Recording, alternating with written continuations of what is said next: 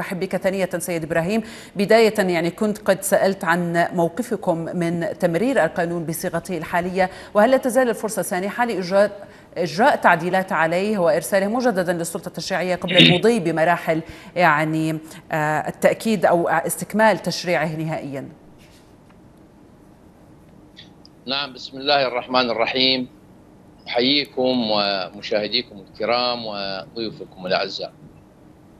أما بخصوص ما تفضلتم به حول موضوع العشوائيات والتي لو أتينا على المسبب لها فهي من تركات بل من الأمور التي تعمد عليها النظام السابق لمحاربته الشعب العراقي وكان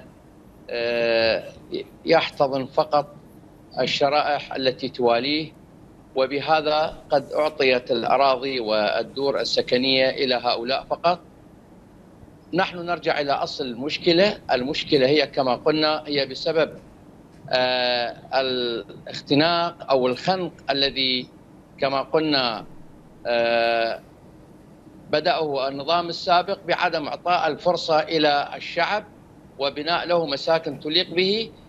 ما بعد السقوط بال 2003 أنتم تعلمون الشعب مختنق طيلة هذه العقود فأين يذهب؟ يذهب إلى مثل هذه العشوائيات لأنها هي قضية ليست قضية إنشائية أو كل من يأتي يتكلم بما يرتاح له نحن نقول أن الشعب العراقي وكأي فرد يريد له مسكن وهناك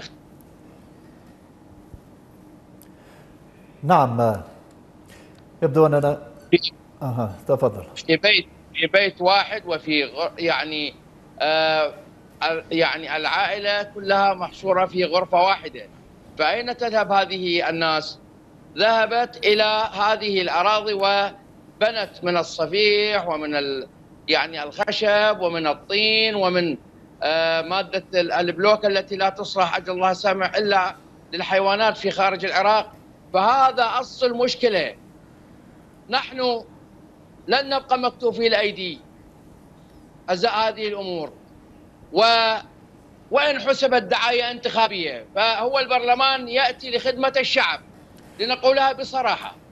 يا أستاذ إبراهيم هذا القانون هل ترونه في دولة القانون ككتلة نيابية أنه جاء خدمة للشعب؟ يعني سن قانون فيه استيفاء بدلات إيجار أو وضع غرامات أليس الأجدى ربما إيجاد حل جذري للعوائل المتعففة التي أجبرت على اتخاذ هذه الأماكن كسكن لها؟ نعم. عندما نتكلم بالقانون فنحن أول من يطبقه كحكومة أقصد. أنتم لم تعطون الشعب مساكن تليق به. ولا ترضون وتعاقبون حسب القانون. هؤلاء عندما يبنون في مناطق عشوائية. الحياة كما تعلمون لم تت يعني لم تتعطل. الشعب بحاجة إلى مسكن يستظل به المواطن. فنحن عندما قمنا بمشروع القانون وليس قانون فهناك لجنة تشكل بهذا الخصوص.